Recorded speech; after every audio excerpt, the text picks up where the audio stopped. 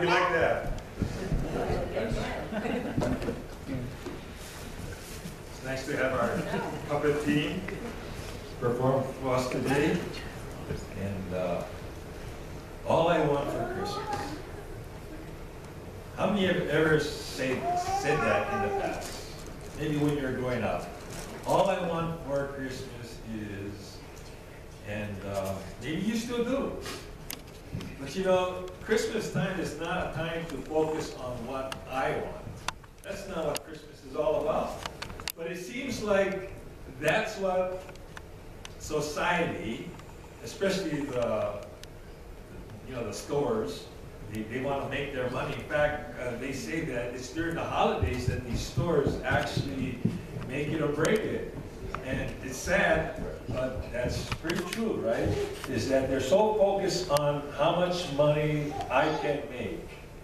And I think um, we got the whole thing all messed up. In fact, it seems like Christmas comes earlier and earlier every year, you know, like they have Black Friday. How many of you like Black Friday, by the way? Huh? I know you, probably, if you do, you're probably not going to admit it, right? but the thing is that um, I think sometimes we get so focused on making sure that we get the right present for the right person that we just completely forget about really what Christmas is really supposed to be about. And we get focused on the wrong thing.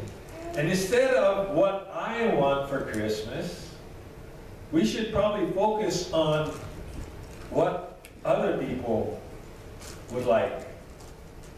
You know, the greatest gift of all, of course, and the reason for the season is because of the greatest gift of all. Christmas should not be about what I want for Christmas. Why is it that every time I pick up the clicker, it doesn't work for me? what is the Ten Commandment? Anybody remember what the Tenth Commandment is? What is it? Louder. Thou shalt. You're not too sure, huh? Thou shalt not covet. Now, what does covet mean? want. Want? Want what? What others have. What others have.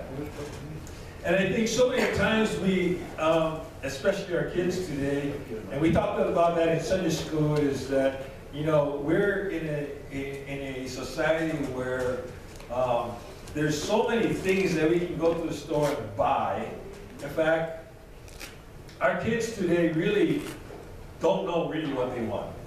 They think they want a certain thing because especially um, if they watch TV, um, you know, they spend millions of dollars of advertisement. And, and they want to make sure that their product is going to get bought so that uh, they can make the profit, of course. But the thing is that why do parents buy these things for their kids and then in the spring, again, I, I've said this before, is you go to yard sales and they are still in the box, not even open. Isn't that sad? And the thing is, I, I remember um, just a couple of weeks ago, um, there's a family in town here, and I won't mention the name, but they decided that this year Christmas was going to be a little different. Christmas was going to be, you know, because the kids basically have everything they need. Now, how many of you have everything that you really need? I, I do. Now, there's some things that I would like, but as far as need, in fact, I think we have too much stuff, right? In fact, we need to unload our stuff. And I, again, I think about, you know, if we were to move somewhere, you know, a lot of people are asking me, well, do you ever think about moving to Hawaii, back to Hawaii? I said, sure, I think about it all the time. But you know what? That's not where the Lord's telling me to go right now. I'm happy with the church that I serve. I'm happy with the programs that we do, Rock and Celebrate Recovery. And I don't need anything else. And you know, there's a lot of times people are always asking, well, what do we need? And if you have the right heart, really, if I have a roof over my head, if I have food to eat, and if I have clothes to wear, I should be happy. And the other thing too is, you know, why is it that around Christmas time we think about, okay, and how many of you struggle at what kind of gift you're going to give somebody for Christmas? Huh? You ever struggle with that? And, and you don't know what to buy because, why? They have everything they need. So the next step is to, you know, find out, okay, what would they like? What would they want for Christmas? And so they're talking about this one family, and they decided that instead of giving gifts to the kids this year, I think it was the kids that thought about this, is that what they were going to do is they were going to have all their Christmas money, whatever was going to be spent on them, they were going to go to sh go shopping and buy Christmas boxes for Operation Christmas Hope. You know, I thought about that when, when I heard this. Those are the things that they will remember and never forget. Why? Because the greatest gift that can be given is the ability to give. Think about it. How many of you enjoy giving something to somebody? And watching the expression on their faces when they receive that gift. It brings me more joy when I give something to somebody and they, they really need that thing and, and, and see the big smile on their face. And then when God in heaven decided to give the greatest gift of all, do you not think that he it brought joy to him to to be able to give the gift of Jesus Christ to this world to save us from our sins, to rescue us from the state that we were in, hopeless, lost. And you know what? That's part of God's character, right? Is to have a spirit of generosity, of giving. So in Genesis, I mean in Exodus, the 20th chapter, we know that as the list of the Ten Commandments. Thou shalt not covet. And then in 1 Timothy 6, it says that godliness actually is a means of great gain when accompanied by contentment. For we have brought nothing into the world, so we cannot take anything out of it either. If we have food and covering, with these we shall be content. But those who want to get rich fall into temptation and snare, and many foolish and harmful desires which plunge them into ruin and destruction. Now, why is the lottery system so successful? as far as what they, the worldlies view as success. Huh? How many people win the lottery when the lottery comes out? Well, usually it's either one or they, if they shared uh, the expense of the tickets, maybe a group of all the millions of people that buy these lottery tickets. And why do they buy these lottery tickets? Now, some of you might, might buy lottery tickets. I don't need to be stepping on your toes, but just think about it. Why do you buy a lottery ticket? Because you want all that money and you think of all the stuff that you can do with all that money. A lot of people say, well, I would give a lot of money away to the poor people. I would help people. And first of all, I would pay all my debt, right? but the studies have been uh, seeing that when people win the lottery, you know what? They're miserable people. Why? Because all of a sudden, when they win the lottery, they have the lost long relatives that start calling them, hi! and then they give all that money away, and a lot of times they don't know how to manage that money, so pretty soon they end up broke, broker than they were when they first started. The love of money, right? It's not money. A lot of times people say, well, money is the root of all evil. That's not what the Bible says. It's the love of money because, you know, if, if money was evil, then we wouldn't be taking up an offering on Sunday, right? Bills have to be paid, the electricity has, the bill has to be paid. Um, you know, there's, there's things that need to, and good things that can happen when we use the money in the right way.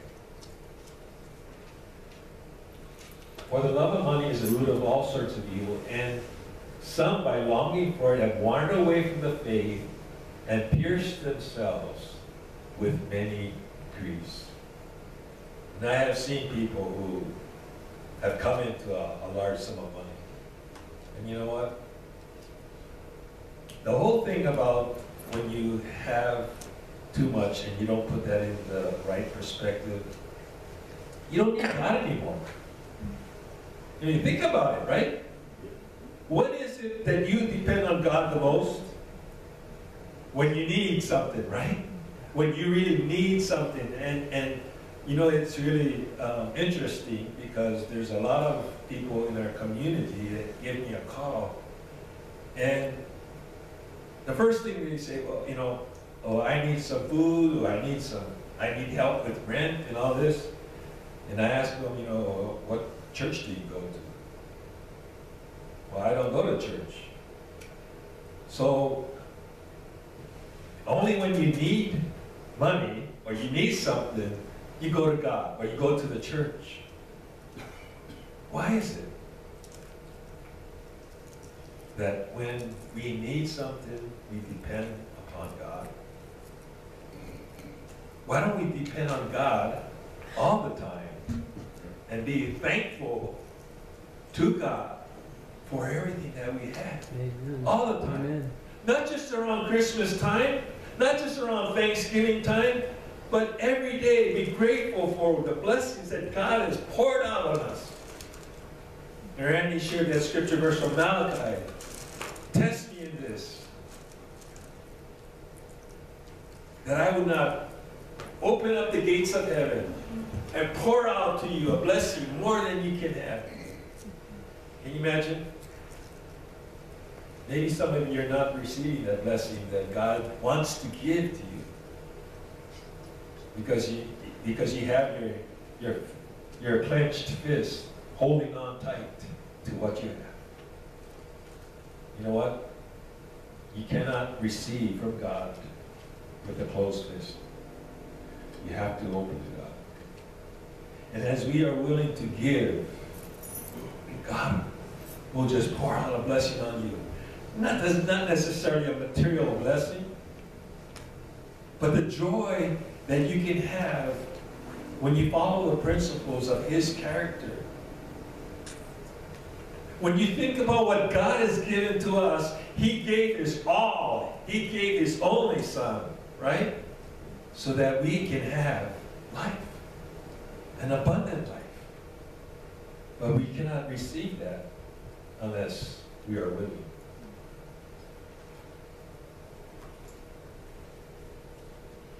In Philippians, this is one of my favorite scripture passages.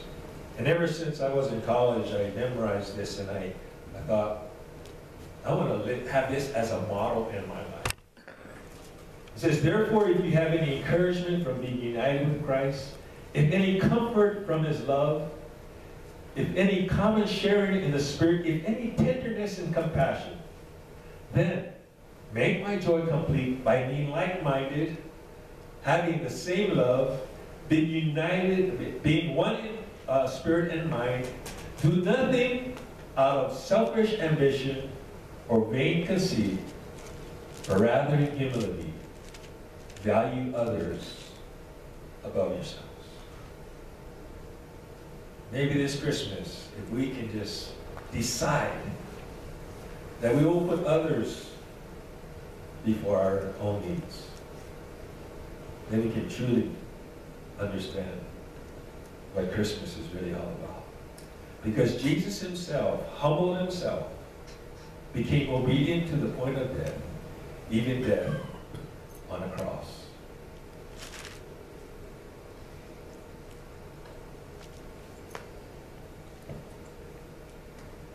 And we should not only look out for our own interests, but also for the interests of others. Let's say it together. For God so loved the world that he gave his only begotten Son, that whosoever believes in him should not perish, but have everlasting life. What better gift can anyone receive than the gift that God has given to us, His Son, so that we can have everlasting life? Maybe more than a physical gift that you can give this Christmas season is to share the gift of eternal life, the gospel of Jesus Christ, the whole reason for the season.